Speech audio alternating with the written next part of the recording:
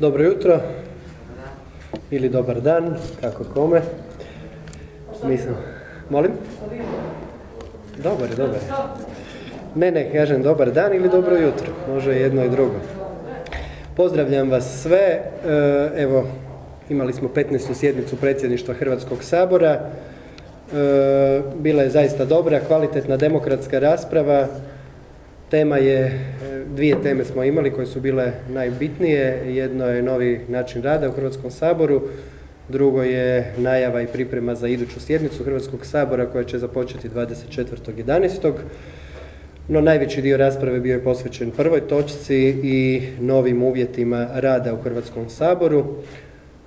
Svi dobro znaju da je epidemiološka situacija ponovo vrlo nepovoljna, da je stožer donio određene odluke koje mi u Hrvatskom saboru sada moramo primijeniti i donijeli smo određene zaključke nakon zaista iscrpne rasprave u kojoj su sudjelovali, čini mi se, e, gotovo svi klubovi zastupnika i pokušali smo doći do jednog rješenja s kojima će biti zadovoljna najveća većina klubova. Naravno da neće biti svi u potpunosti zadovoljni, čuli smo i drugačija mišljenja, ali evo došli smo do nekih rješenja koja su u skladu sa odlukama e, stožera, koja su u skladu s načelom zaštite zdravlja i života zaposlenika i zastupnika u Hrvatskom saboru, ali koja isto tako vode računa i o pravima zastupnika da sudjeluju u radu Hrvatskog sabora, u raspravama i u glasovanju.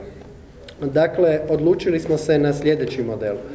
Prvo, od 15. studenog, kada kreću mjere, e, u Hrvatski sabor moći će se ući samo sa COVID potvrdom ili testom e, koji pokazuje da je zastupnik ili zastupnica ili neko od zaposlenika negativan na e, COVID.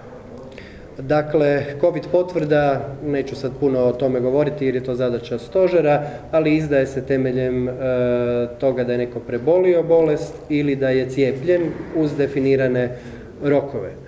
Oni koji nemaju COVID potvrdu, ja ću se sada samo koncentrirati na zastupnike i zastupnice, moći će se testirati i ako je test negativan, moći će ući u zgradu Hrvatskog sabora i sudjelovati u raspravi.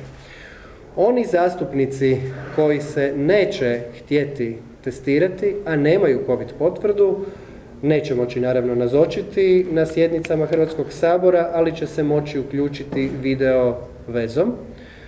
E, isto tako definirali smo da postoji još jedna grupa zastupnica i zastupnika koji imaju određene zdravstvene poteškoće ili teške bolesti, E, to je već drugi puta sada ukazao i kolega Grbin, e, pa smo se odlučili da oni koji će dobiti posebnu potvrdu od liječnika da bi bili zdravstveno ugroženi ili da bi bili u riziku ako dolaze na okupljanja e, gdje ima više ljudi, a saborske sjednice su mjesta gdje ima dosta ljudi, dakle i oni će se moći uključiti video putem.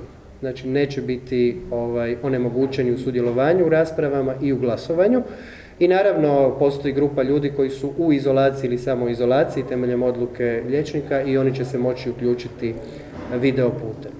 Bilo je onda postavljeno pitanje što sa onima koji imaju COVID potvrdu, a neće doći, da li se i oni mogu onda uključiti video putem. Zaključak je, i to zaista velike većine, da njima nećemo omogućiti da se spajaju video vezom nego ćemo prilikom prvog ulaska u zgradu, kada e, će se vidjeti imaju li COVID potvrdu, utvrditi do kad ta COVID potvrda traje.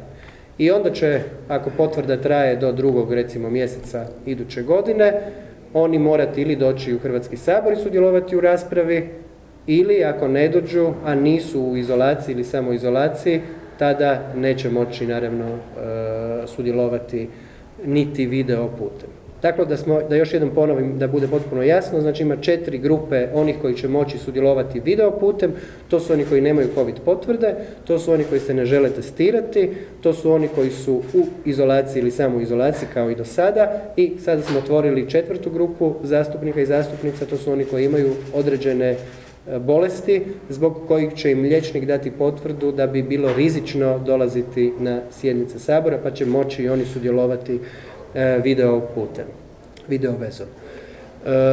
isto tako, sukladno ovlastima koje poslovnik daje e, straži Hrvatskog sabora, oni će biti ti koji će provjeravati COVID potvrde i provjeravati imaju li zastupnici ili zastupnice testove. E, dogovorili smo se isto tako da ćemo nastaviti raditi i da zastupnik i zastupnica može govoriti bez maske ili za govornicom ili s mjesta, ali sam zamolio u ime predsjedatelja, dakle i svoje osobno i potpredsjednika, da se zaista toga drže i da skidaju masku isključivo u trenutku kada govore, a da ne hodaju saborom niti po zgradi sabora e, bez maske. E, što se tiče broja zastupnika i zastupnica u sabornici, on e, ostaje isti, zato što se odluka o 50 osoba na jednom mjestu ne odnosi na predstavnička tijela, nego se na njih primjenjuje odluka o kvadraturi. I budući da je 4 kvadrata, 4 metra kvadratna neto površine dovoljno za jednu osobu, mi po toj odluci imamo 77 ljudi u sabornici, mislim da je 71 zastupnik i zastupnica, ostalo su ili predstavnici vlade i stručno osoblje, e, tako da ostajemo u istom režimu rada u sabornici kao što smo radili i do sada. Toliko oko prve točke, oko druge točke vrlo kratko, počeli bismo zasjedanje 24.